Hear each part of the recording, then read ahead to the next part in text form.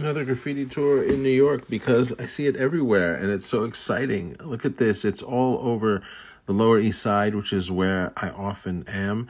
Some of these even look like they might have been commissioned by stores, not the ones that you're looking at, although this one might be.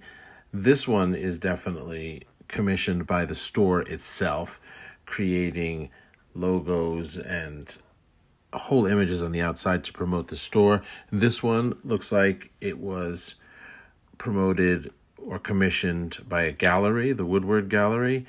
But generally, all over the city, you see these kinds of works, especially in the Lower East Side, people clearly tagging everywhere.